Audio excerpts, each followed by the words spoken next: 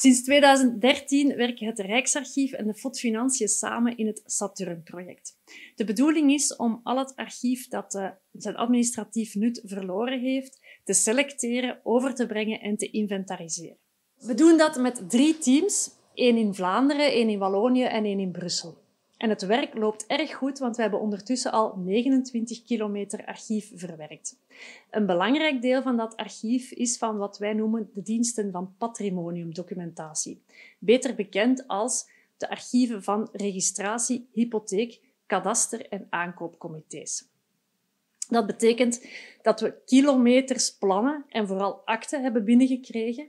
En daar zat de knoop, want het was niet altijd makkelijk om te weten bij welk registratie- of hypotheekkantoor je terecht moest om een bepaalde akte of een plan terug te vinden. En Daphnis is een cruciale schakel in het vindproces. In Daphnis reconstrueren we de evolutie van de ambtsgebieden van de voormalige hypotheekkantoren, de registratie- en domeinkantoren, de gewestelijke directies van de registratie en de aankoopcomité's. Deze ambtsgebieden zijn door de geschiedenis heen verschillende keren veranderd. Bijvoorbeeld moesten de akten uit de gemeente Aalter tot 1977 geregistreerd worden in het registratiekantoor van Zomergem, maar na 1977 in het registratiekantoor van Aalter zelf. Hierdoor, en ook door de verschillende fusies die sommige gemeenten hebben ondergaan, is het vaak moeilijk om te reconstrueren in welk kantoor dat de akten van een bepaalde gemeente of notaris op een bepaald moment geregistreerd moesten worden. In Daphnis brengen we al de informatie over de ambtsgebieden samen in een database, waardoor het mogelijk wordt om heel snel en eenvoudig met een zoekopdracht terug te vinden welk kantoor op een bepaald moment bevoegd was voor de gemeente en bijgevolg ook in welk Rijksarchief je terecht kan om informatie over de akten uit deze gemeente voor die periode terug te vinden.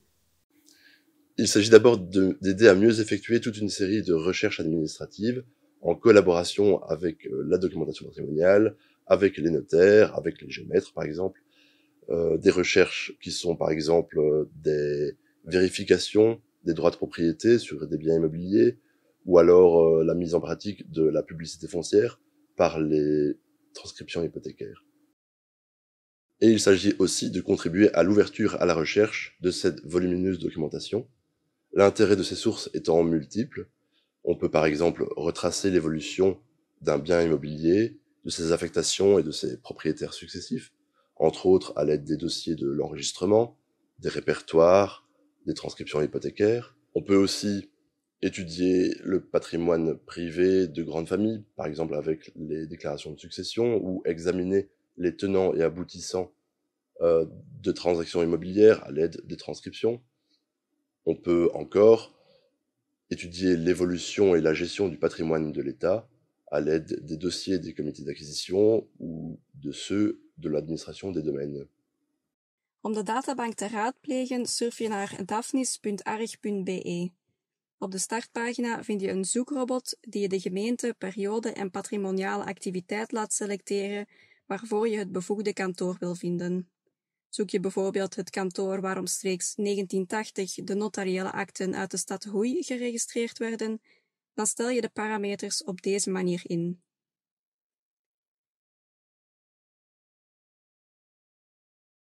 De gemeente kan ook gekozen worden uit een alfabetische lijst. Zorg er in elk geval voor dat je de oorspronkelijke gemeente selecteert als je de opzoeking doet voor de periode voor een eventuele fusie. In de zoekresultaten zien we de kantoren die respectievelijk bevoegd waren voor de gemeente en eventueel de fusiegemeente. De databank geeft ook aan in welk Rijksarchief de registers van het kantoor bewaard worden of zullen worden wanneer ze zijn overgebracht naar het Rijksarchief. Met de knop Meer informatie open je een venster dat nog enkele extra zaken vermeldt, zoals het kantoornummer, eventuele opmerkingen en de wet of het besluit waarin het resort is vastgelegd. Spreken we over een kantoor dat op dit moment bestaat en bevoegd is, dan kan je via de naam de contactgegevens van het kantoor opvragen. Ook na een zoekopdracht kunnen de parameters nog worden aangepast bovenaan. Een rood icoon geeft aan dat bepaalde gegevens niet 100% zeker zijn en voorzichtigheid dus nodig is. Een zwart icoon staat bij de kantoornamen van steden met meer dan één kantoor en leidt naar een venster waarin de verdeling van de stad over de kantoren wordt toegelicht. Met andere woorden, voor de akten van welke notarissen en kadastrale afdelingen de respectievelijke kantoren bevoegd waren. Deze verdeling is ook terug te vinden in het venster Meer informatie. Twijfel je over de kadastrale afdeling, dan kan je altijd CatGIS raadplegen, waar je het huidige afdelingsnummer van een bepaald adres terugvindt.